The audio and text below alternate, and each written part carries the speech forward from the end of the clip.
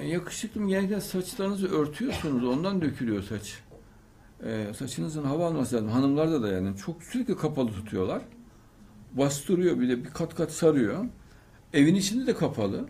E saç dökülür o zaman yani. Saç ona dayanamaz. Öyle şey olur mu? Saç açıkta olması lazım.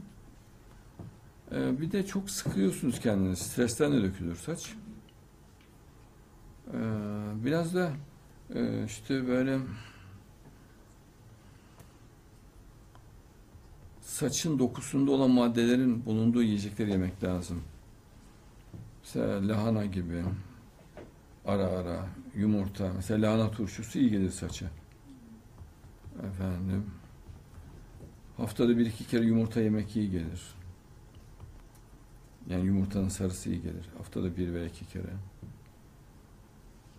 Sonra bazen saçta mantar veyahut enfeksiyon olur, saçı dökebilir. Ona dikkat etmek lazım.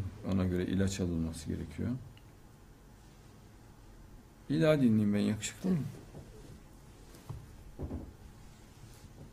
Saçı dökülen insanlara ne önerirsiniz? Ee, yani tabii doktora sormak lazım ama ben kabaca bildiklerimi söyleyeyim. Hmm, Saç dibine masaj yapmak etkili olabilir. Ondan sonra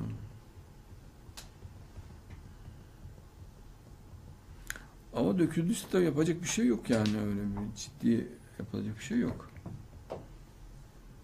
Şu an herhalde bir saç nakli falan yapıyorlar. Evet. Şu saç kenarlarını alıp eziyetli bir şey ama yani çocukların eziyet çekmesindense o olabilir yani öyle bir şey.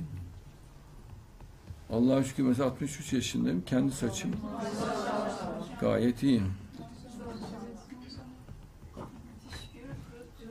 Her şey kendimin yani. Dişler kendimin, saç kendimin. Maşallah. Evet. Cildim de şaşırıyorum cildime. Maşallah.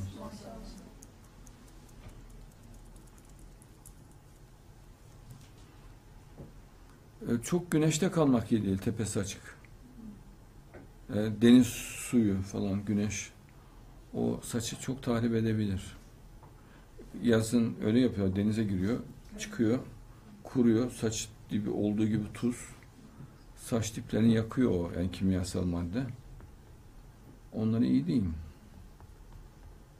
Ama genellikle herhalde bir yaştan sonra dökülüyor çocuklarda saçlar. Yani herhalde saç nakli olabilir. Başka bir şey olmaz. Şu an daha yeni teknolojiye çıkmış herhalde. Gayet yolda vardı öyle yazmış. Hemen anında işte kafanızı açabiliyorsunuz mu diyor bir şey. Yani fazla eziyet olmadan, rahatsızlık olmadan bir şeyler söylüyor. Efendim? bir şey var galiba lazerli. Ama ona benzer bir şeyler söylüyorlar. Yani çeşitli yöntemler. Dövme de yapıyorlar. İşte dünyanın acizi o da. Evet. İnsanın acizi mesela yani daha yaşı biraz ilerleyince dökülmeye başlıyor. Ama Allah'ım da olsun ben çok şaşırıyorum yani maşallah.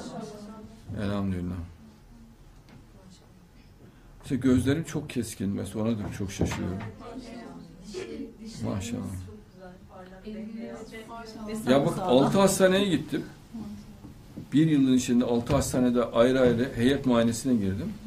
Tepeden tırnağa muayene oldum. Yani tepeden tırnağa, gözden ta ayaklara kadar yani. Tepeden tırnağa muayene. Her yer sağlam. Yani raporda yazıyor. Sağlam, sağlam, sağlam, sağlam, sağlam. Altı hastane. Göz göze giriyor. Çelik gibi böyle Allah'ın izniyle. O bir şey zımbırtı takıyorlar gözümüze biliyorsunuz. Şimdi nasıl, şimdi nasıl, şimdi nasıl? Hepsinde yani. Çelik gibi Allah'ın izniyle. En ufak harflere kadar saydırdım. Maşallah.